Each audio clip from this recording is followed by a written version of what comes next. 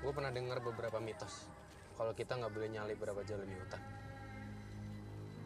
Dan kalau kita nyalip, kita bisa aja masuk ke dunia mereka.